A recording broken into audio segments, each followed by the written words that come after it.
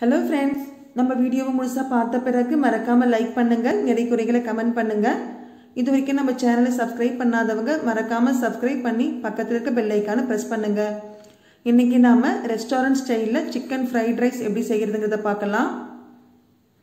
இந்த chicken fried ரைஸ்க்கு கால் கிலோ அளவுக்கு போன்லெஸ் சிக்கன் எலும்பு எதுவும் இல்லாத சின்ன சின்ன சிக்கன் பீசஸ் வாங்கியிருக்கேன். சிக்கன் பீசஸ் பார்த்தீங்கன்னா ரொம்ப சின்ன சின்னதாக இந்த மாதிரி இருக்கணும். இப்போ சிக்கன் நம்ம மேரினேட் பண்ணி வச்சுக்கலாம். இதுக்கு பார்த்தீங்கன்னா சிக்கன் சிக்ஸ்டி ஃபைவ் மசாலா ஒரு டேபிள் ஸ்பூன் சேர்த்துக்கலாம். ஒரு அரை டேபிள் ஸ்பூன் இஞ்சி பூண்டு விழுது. ஒரு கால் டேபிள் ஸ்பூன் உப்பு. சிக்ஸ்டி ஃபைவ் மசாலாவில் ஆல்ரெடி உப்பு இருக்கும். அதனால் உப்பு கொஞ்சம் கம்மியாகவே சேர்த்துக்கலாம். ஒரு அரை எலுமிச்சம் பழத்தை பிழிஞ்சு விட்டுக்கோங்க. இப்போ இந்த மசாலாலாம் சிக்கனில் நல்லா அப்படியே பிரட்டி விட்டுக்கலாம். இப்படி பிசைஞ்சு வச்சுருக்க சிக்கன் வந்து ஒரு ஆஃப் அன் ஹவருக்கு நம்ம அப்படியே ஊற வைக்கணும்.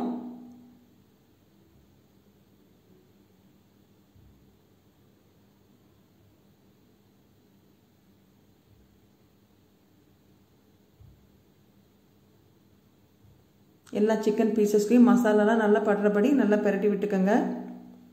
இப்போ நாம் இந்த சிக்கனை ஃப்ரை பண்ணிக்கலாம். அரை மணி நேரம் கழித்து எண்ணெய் நல்லா காஞ்ச பிறகு மேரினேட் பண்ணி வச்சுருக்க சிக்கன் பீசஸை கொஞ்சம் கொஞ்சமாக எண்ணெயில் போட்டுக்கோங்க.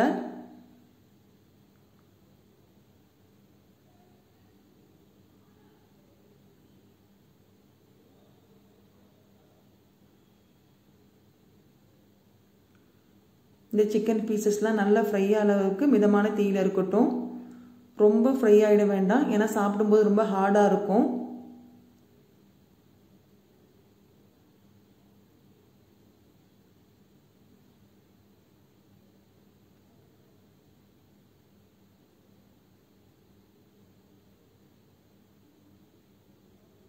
சிக்கன்லாம் நல்லா ஃப்ரை ஆகிடுச்சு இப்போ எடுத்து ஒரு டிஷ்யூ பேப்பரில் போட்டுக்கோங்க.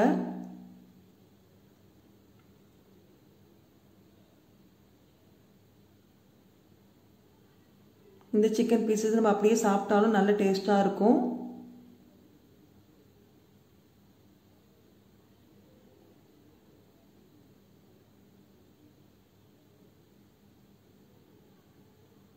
இந்த ஃப்ரைட் ரைஸ்க்கு தேவையான சிக்கன் ரெடி பண்ணிட்டோம். அடுத்து ஒரு கடாயில் ஒரு ரெண்டு டேபிள் ஸ்பூன் பட்டர் சேர்த்துக்கோங்க. பட்டர் இல்லைன்னா எண்ணெயும் சேர்த்துக்கலாம். இப்போ இதை பொரிக்கிறதுக்கு பொடியாக நறுக்கி வச்சுருக்க இஞ்சி பொடியாக நறுக்கின பூண்டு கருவேப்பிலை பச்சை மிளகாய் ஒரு நாலு. எல்லாத்தையும் நம்ம இந்த பட்டரில் சேர்த்து வதக்கிக்கலாம்.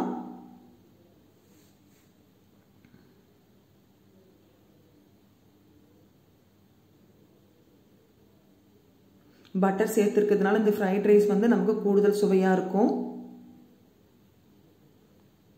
பார்த்தீங்கன்னா இஞ்சி பூண்டெல்லாம் நல்லா வதங்கி இருக்குது இப்போ நாம் ரெடி பண்ணி வச்சுருக்க காய்கறிகளை சேர்த்துக்கலாம். கேரட் பீன்ஸ் பச்சை பட்டாணி ஸ்வீட் கார்ன் எல்லாம் நல்லா பொடியாக நறுக்கி இருக்கும். நறுக்கி வச்சுருக்க கேரட் பொடியாக நறுக்கின பீன்ஸ் ஸ்வீட் கார்ன் ஒரு அரை கப் பச்சை பட்டாணி ஒரு அரை கப் இதெல்லாம் சேர்த்து நல்லா வதக்கிக்கலாம்.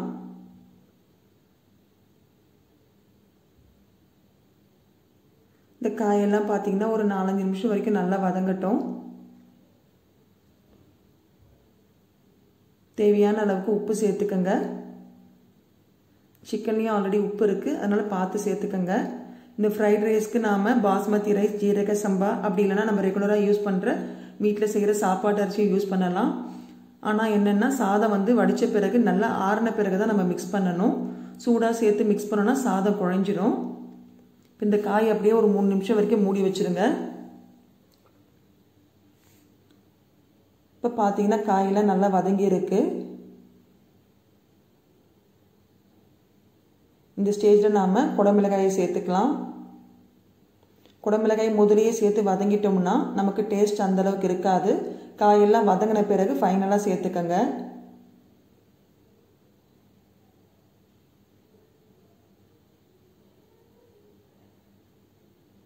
இப்போ இந்த சிக்கன் ஃப்ரைட் ரைஸ் கூட நாம் முட்டையும் சேர்க்க போகிறோம்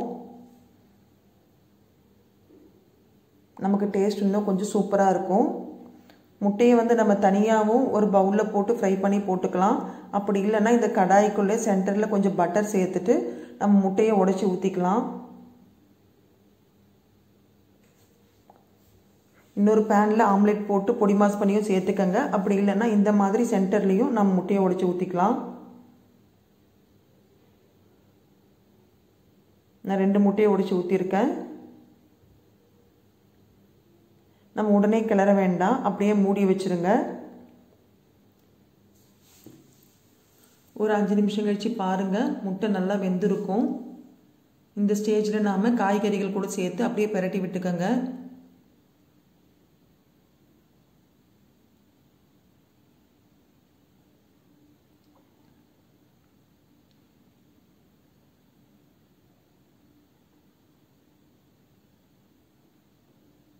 முட்டி கரண்டியில் நல்லா இந்த மாதிரி கிளறி விட்டு காய்கறிகளோடு நல்லா பெரட்டி விட்டுருங்க.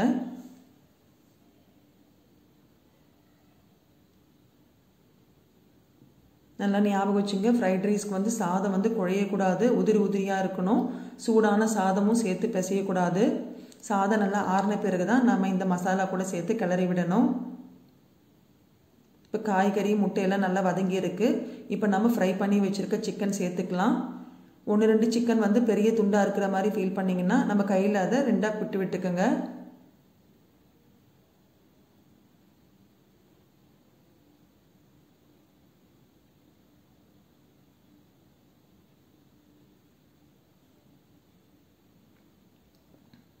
இப்போ காய்கறி சிக்கன்லாம் ரெடி ஆகிடுச்சு இப்போ நம்ம வேக வச்சு ஆற வச்சுருக்க சாதத்தை இதில் சேர்த்துக்கலாம். பாருங்கள் சாதம் வந்து உதிரி உதிரியாக உன்னோடு ஒட்டாமல் குழையாமல் இருக்குது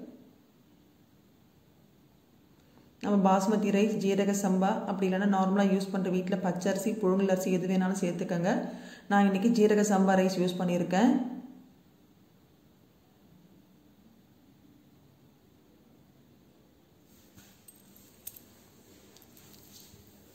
நம்ம நார்மலாக சிக்கன் மட்டன் ஃபிஷ் இந்த மாதிரி செய்கிற மாதிரி ஒரு நாள் லஞ்சுக்கு நாம் இந்த மாதிரி சிக்கன் ஃப்ரைட் ரைஸ் செஞ்சு பாருங்கள் வித்தியாசமாக இருக்கும். ஹோட்டலில் செய்கிறத விட நல்ல டேஸ்ட்டாக இருக்கும். நம்ம காய்கறிகள் முட்டை சிக்கன் எல்லாமே சேர்த்துருக்கோம்.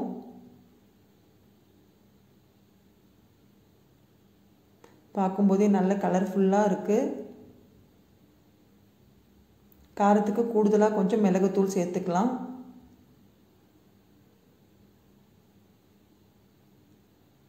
அடுத்து நாம் பொடியாக நறுக்கி வச்சுருக்க கொத்தமல்லி தழைகளை தூவிடலாம். அடுப்பை அணைச்சிருங்க. சாதம் சேர்த்ததுக்கப்புறம் ரொம்ப நேரம் வதங்க வேண்டாம். சூப்பரான சிக்கன் ஃப்ரைட் ரைஸ் ரெடி ஆகிடுச்சு கண்டிப்பாக ட்ரை பண்ணி பாருங்கள் பசங்களும் நம்மளும் விரும்பி சாப்பிடலாம்.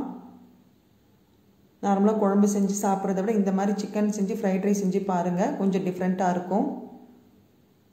ஹோட்டலில் சாப்பிட்ற அதே டேஸ்ட்டில் இருக்கும். சாதமும் நமக்கு நல்ல உதிரி உதிரியாக வந்திருக்கு.